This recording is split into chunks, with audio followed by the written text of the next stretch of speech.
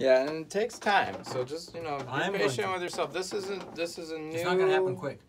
This is a new skill that we're learning. But I like the idea of listening to the note. Yeah, for a little yeah. No, it's good. I mean, Before it's I something you do can do. anything. So, again, I'm gonna just go through the notes. Just at the first time, just say la. Okay. So you're gonna go play the note, la, and then you play the next note. Listen and then match. La, la, la. Just like that for the whole thing.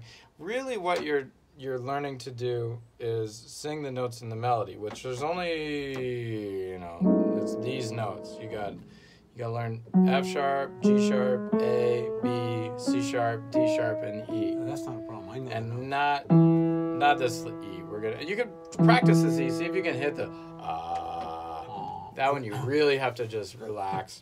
But again, this is the very bottom of your range, so um, just do that, and then when you get more comfortable with that, um, maybe like the second, you know, second or third time you go through it, uh, try the syllables.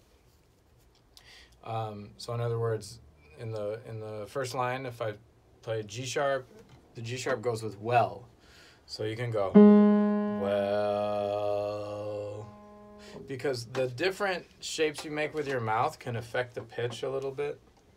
Um, so you have to learn how to deal with that. And then the second word, I, as a B. I tried to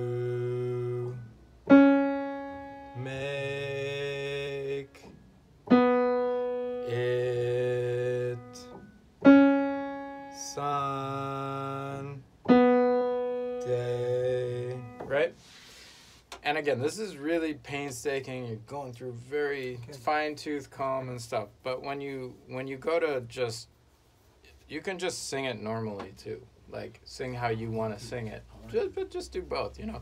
Cuz like one is it's not really a substitute. This what this does is it it uh, reinforces when you go to sing it I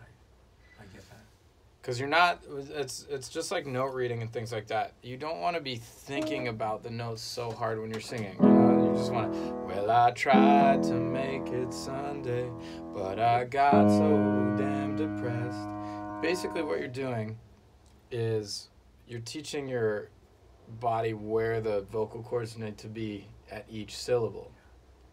And it becomes part of your mus- muscle memory just like when you learn to play a major sharp, I mean A flat minor, or whatever your thing is, and you're not even thinking about it. Well, I try. I have to think about it here, but well, I tried to make it Sunday, but I got so damn depressed. You know, got so damn depressed. You start. Uh, got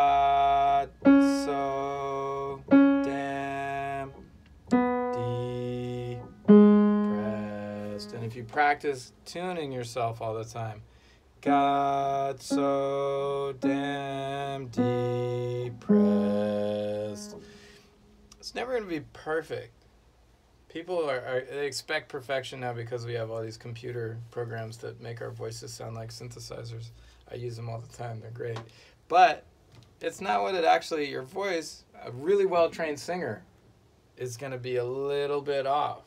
And that's part of being a human. That's what it is. Somebody who's not a well trained singer like me is going to be a little more off with the tuning. But the main thing is that you're in the ballpark. Uh, Right. because it's not it's not gonna offend your ears so much if you're in the ballpark, and that's all we're really going for. Anymore. We're not getting up on stage. All right, I'm gonna go practice. Okay. Thank you.